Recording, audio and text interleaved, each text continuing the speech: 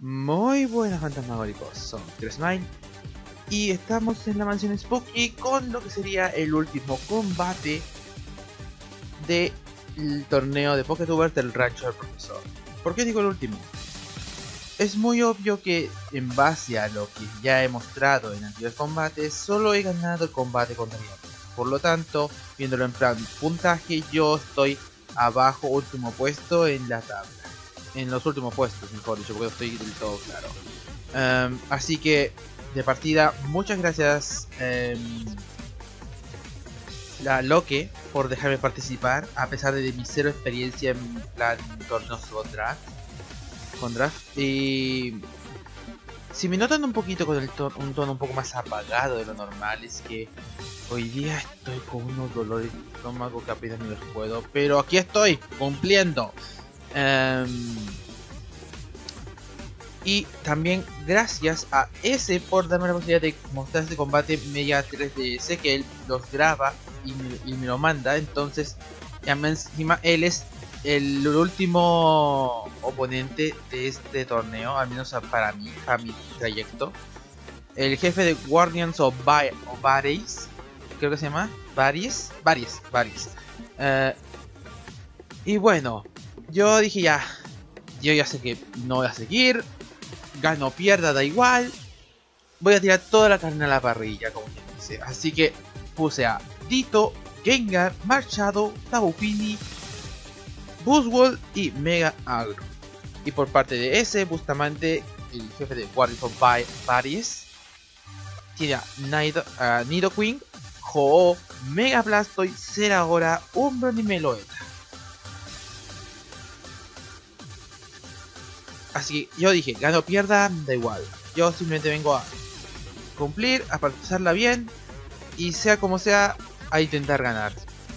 Pero si vemos nuestro, mi equipo respecto al de él, hay una clara idea de quién gana. Así que vamos a darle a play y que empiece el combate.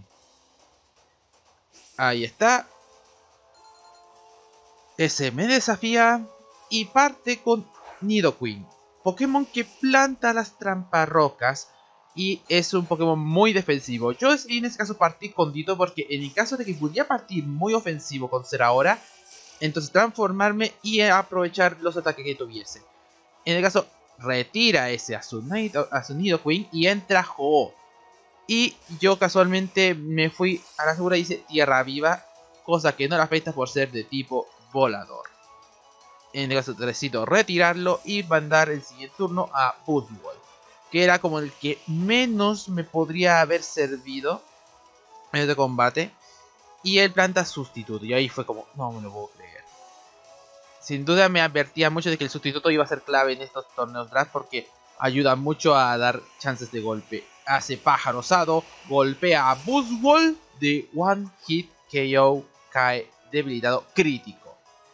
Y en ese momento dije, la Hax no va a estar conmigo ni por si acaso. Así que cae debilitado, entro con Mega Agron, buscando en este caso no plantar las rocas, sino sacarle del campo. Pero sin saber la habilidad que tenía en ese caso, que era regeneración. Activo la Mega Piedra, a paso a Mega Agron y él hace Fuego Sagrado. Me golpea, tiene un alto porcentaje de ataque de quemar, siendo ataque físico y Obviamente me quema. Hago no se quemado y uso rugido. Lo saco del sustituto y hago que el siguiente otro Pokémon entre al campo. Que en este caso es Melo. Yo sí, yo me sigo desgastando con la quemadura y ese retira Meloeta, se lo guarda. Tiene que tener algo muy clave y en este caso después vi su combate ahora. Y tenía el Z Celebrate. Así que era muy obvio que tenía que guardárselo trampa rocas, se las cuelo al campo rival, sigo desgastándome con la quemadura y ya en sí, aquí yo la verdad ya tenía la mente en plan, ya perdí, ya perdí, ya perdí. Debí haber estado más focus, aunque claro, intenté concentrarme en este combate lo más posible. El activo su mega piedra, la pasado a mega Blastoise y hace giro rápido, hace un mínimo de daño, pero me quita las rocas Y yo en este caso hice terremoto a un quemado quería ver qué tanto desgaste podía hacerle. Y cuando veo la cantidad de poca vida que le quito, es como. Y más encima crítico. Es como. vale, lo tiene con Nerfs en defensa física para aguantar golpes. Ahí oficialmente debía haber cambiado a Marshado, por ejemplo, y debía haber editado la esfera oral, pero tenía acceso a hidropulso, esfera oral, pulso umbríos y con la habilidad del mega disparador iba a ser un destrozo. Así que preferí sacrificarle y entrar con Tito en turno limpio, transformándome en Mega Blast y confirmando incluso su set de movimiento. Retira en este caso a Blastoise y él entra con Umbrio. Y yo había hecho esfera oral al posible cambio que en este caso era Umbreon. Pero no tenía tanta... Pero le hice un poquito menos de la mitad de vida. Obviamente retira a Umbreon. Yo quedo encerrado eh, porque soy Scar. Entra Ho al cambio y cuando veo que está curado casi completo fue como, vale, tiene regeneración. Ya tenía claro que ese juego iba a costar un montón tumbarlo. Retiro y entro con Fini.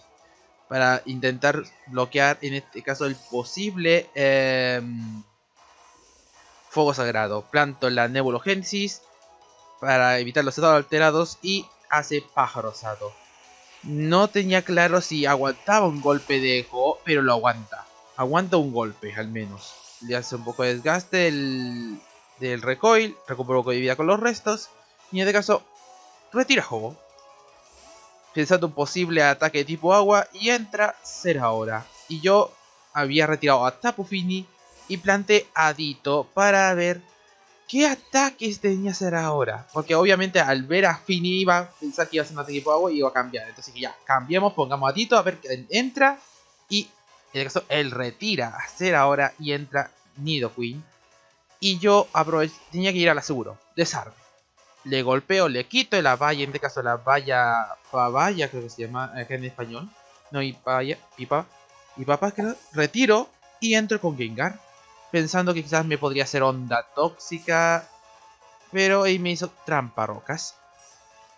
Aprovechó el turno del cambio, porque este caso no podía hacer puños plasma, tenía que ir a con desarme, y ahora dedica tan poco tiempo.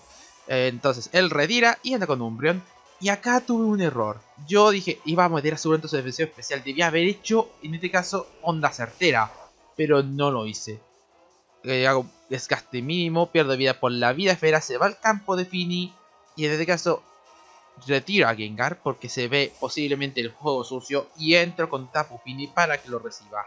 Activo en este caso la Nebulogénesis, pierdo un poco de con las trampas rocas primero, ahí está, Nebulogénesis.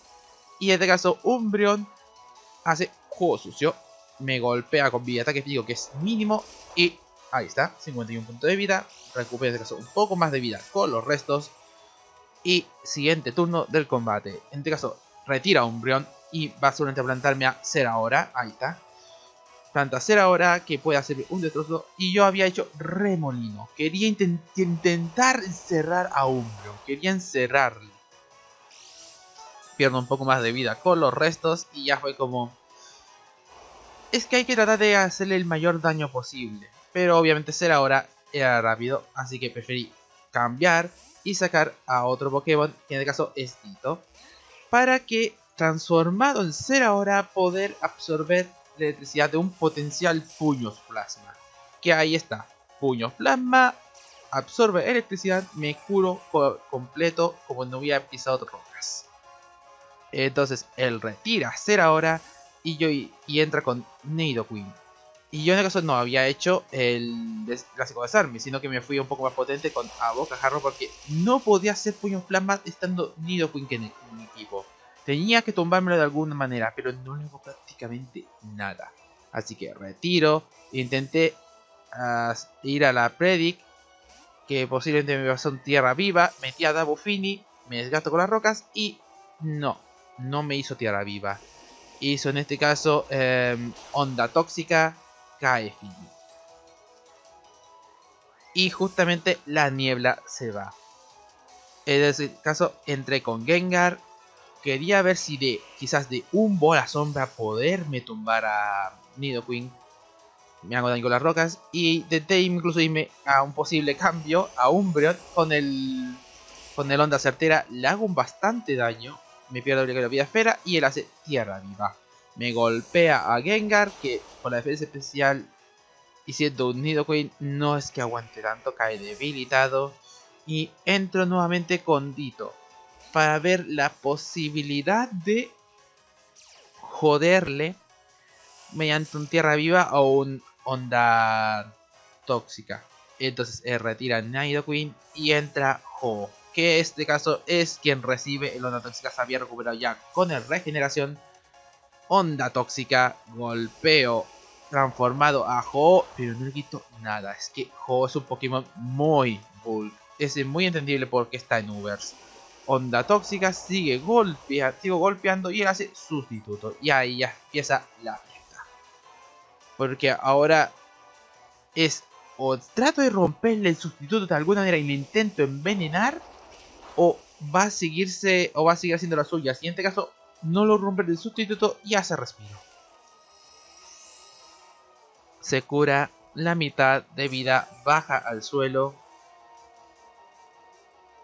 Y ahí ya dije, quedan dos Pokémon. Creo que me queda Badito y me queda eh. Sigo golpeando con una tóxica. Ahí, hoy momento que están llegando notificaciones. Cierro esto. Ahí está. Em, él hace él hace sustituto nuevamente después de haberlo roto con el onda tóxica. Yo seguía presionando. Aunque tuviera pocos PPs de onda tóxica, tenía que seguir haciéndole destrozo. Pero no. Era ya. Ya había curado completamente a Ho con el respiro.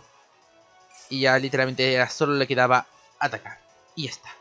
Solo quedaba hacer daño. No me quedaban más, en este caso, más PPs. Esfuerzo ya literalmente ya sabía que me había perdido el combate, así que preferí seguir e intentar romperle el sustituto y él me hace en este caso fuego sagrado, solamente pensando en que iba a cambiar a Marshadow, me quema, como no, y la quemadura me deja con 3 puntos de vida. Y prácticamente, como sabemos que es bulky por ambos lados, ni el esfuerzo le hago nada y menos, y el recoil termina tumbándome a Dito. Y obviamente hizo sustituto porque no iba a cambiar a Machado, que en este caso iba a entrar en turno limpio. Me hago de poco de daño con las trampas rocas y yo intenté hacer lo mismo. Sustituto. Intentar ver la posibilidad de sobrevivir el combate hasta el final. Pájaro osado. Y acá en este último turno tengo que admitir que no sabía qué tan útil era el, romba, el roba sombra. En este caso, él hace un poco de daño al recoil, me rompe el sustituto, entro al campo y yo ya dije, ya, termino esto una vez. Roba sombra y traspasa el sustituto. Debía haberme hecho otro sustituto que en este caso del pájaro asado me lo hubiese roto y entonces quizás del romba sombra habérmelo tumbado. Pero no, ya estaba mentalizado de que iba a perder. Me hace pájaro asado, me tumba al último Pokémon de mi equipo y en este caso sigue a nada. Y después revisé su combate y quedó con 9 puntos de vida y él consigue la victoria. Personalmente ya no es que pueda hacer mucho. Tenía un equipo muy bulky, bastante más bulky que el mío, es que no nos vamos a mentir. Yo fui ya con toda la canal para allá porque ya sabía que no iba a seguir en, en el torneo. Pero... Bueno. Eh, Ahí está el combate. Espero que les haya gustado este combate del torneo de Poketubers de la Rancho del Profesor. Si es así, denle like, compartan, suscríbanse al canal para reclamaciones y más fantamitas, activen la campanita para que avise cada suba vídeo. Síganme en Twitter que estoy avisando los vídeos por allí. Y si les interesa seguir viendo este, este torneo, les recomiendo que sigan a los participantes que están ahí abajo también en la descripción. Y ahora sí, son tres Smile. Y hora asustar con una sonrisa. ¡Chao!